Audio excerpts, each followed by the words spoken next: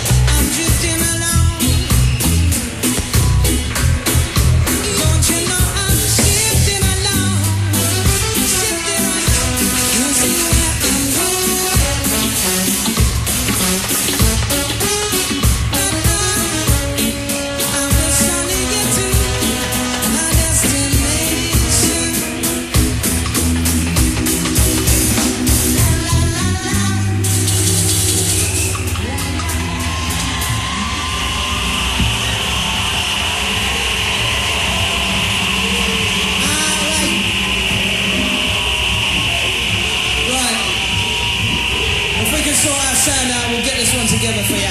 This tune is called All Right. Oh, darling. Oh, that's so me.